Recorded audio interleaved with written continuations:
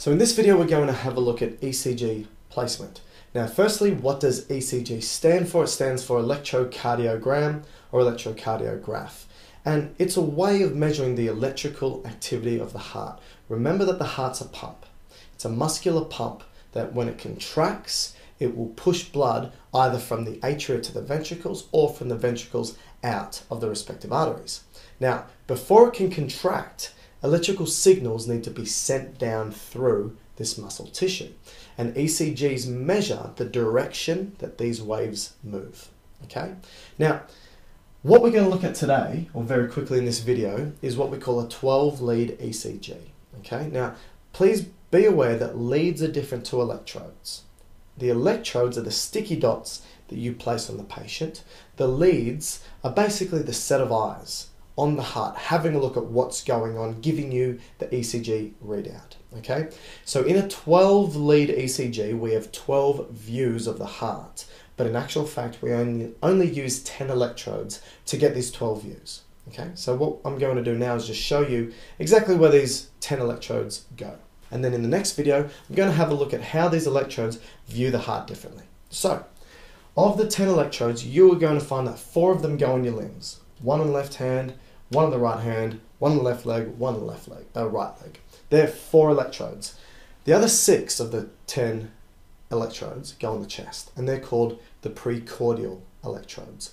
And they are also the electrodes that give you the precordial leads or precordial readouts. So, first thing I want to do is draw up the chest. So what we're going to do is first of all draw the sternum. Just very simply we're going to draw the sternum, we're going to draw the clavicle.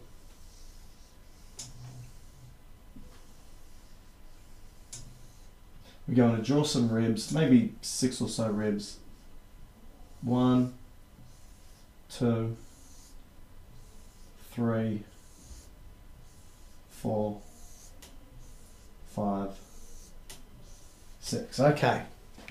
Now, when we place these, what we call precordial electrons. We have six. We start with the first one, and we call the first one V1.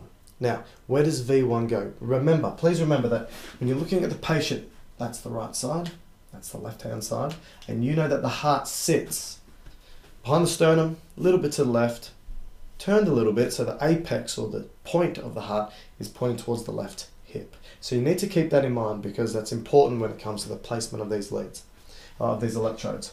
Okay, V1, first electrode, we place, find the sternum, go to the right of that sternum, and then count your ribs. Go to your fourth rib, and after that fourth rib is your fourth intercostal space. So that's one, two, three, four. So to the right of your sternum at the fourth intercostal space, one, two, three, four,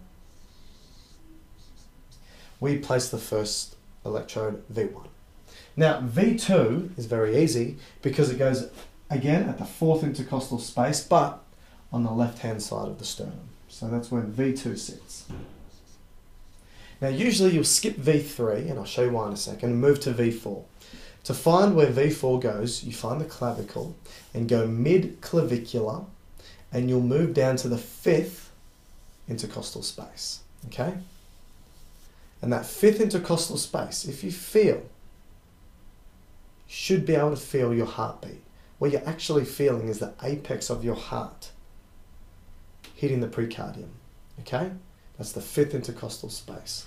And that's where you put V4. So mid clavicular, fifth intercostal space, V4. V3 simply goes immediately between V2 and V4. And V5 and V6 very easily go at the fifth intercostal space but move towards the axillary. The axillary is the underarm. Okay? So that means we will also put V5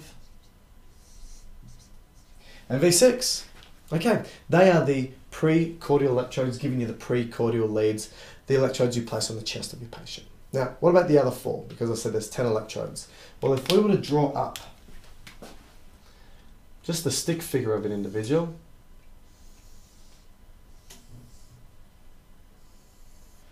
you will place one lead, or one electrode, I should say, left arm, right arm, left leg, and right leg. Now, you can see I drew three the same colour and one a different colour. Now, the three of the same colour, right arm, left arm, left leg, that's important because what you can see is the right leg, which I drew in red, actually does not contribute to the ECG in regards to its view of the heart. It's not a lead, does not give us a view of the heart. It is a ground for the machine. Okay, sort of gets rid of some of that background. So what you can see is one, two, three electrodes right arm, left arm, left leg, they contribute to the views of the heart. Okay? Now, this is where they're placed. Now, you need to remember that placing them here, so if I were to draw the trunk of this individual, okay? So I'm drawing the trunk of the individual, that placing a lead on a patient's arm is basically the same as placing it at the trunk where that limb connects, okay? So whether it's here or here or here. Now, the reason why this is important is because remember, we have the heart placed in here roughly. And what we have is the left arm lead is going to have its own little view of the heart. The right arm lead is going to have its own little view of the heart. The left leg lead is going to have its own little view of the heart. But in addition to that, what you'll find is that unlike the electrodes on the chest, these electrodes can speak to each other. Okay? They're called bipolar leads. These are called unipolar leads. Now, that means that the right arm can speak to the left arm. The right arm can speak to the left leg or left foot. And the left arm can speak to the left foot. Okay? So, right arm speaks to left arm, right arm speaks to left leg, and left arm speaks to left leg. The reason why this is important is because when they talk to each other, they also measure what's going on in regards to the electrical activity of the heart in that particular direction. Okay? So in addition to having a view of the heart, view of the heart, view of the heart from these electrodes, we also have a view of the heart, basically, from this direction because of this one coming across. We call that limb lead 1. We have a view of the heart from this direction.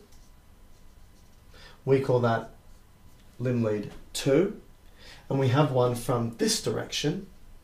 So this one's going across like this.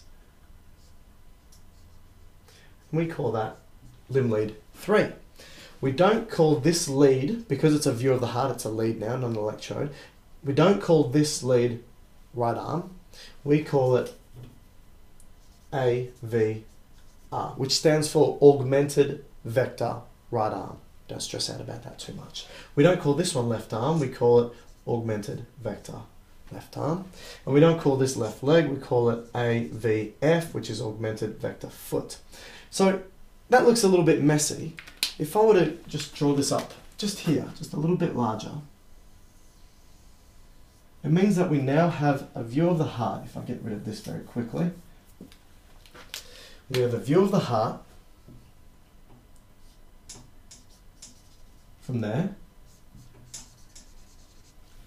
from there,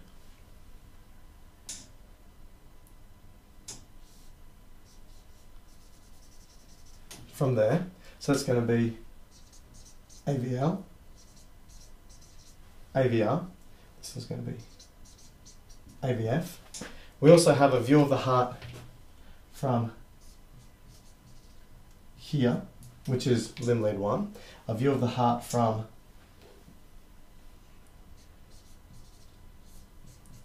here, which is limb lead 2, and a view of the heart from here, which is limb lead 3. How many views of the heart is that? That's one, two, three, four, five, six views of the heart from four electrodes. So four electrodes on the limbs give you six views of the heart, plus the six views of the heart you get from the precordial give you 12 leads. That's your 12 lead ECG. Please remember, these leads on the chest, they're placed on the chest like this. So they're viewing the heart from that direction.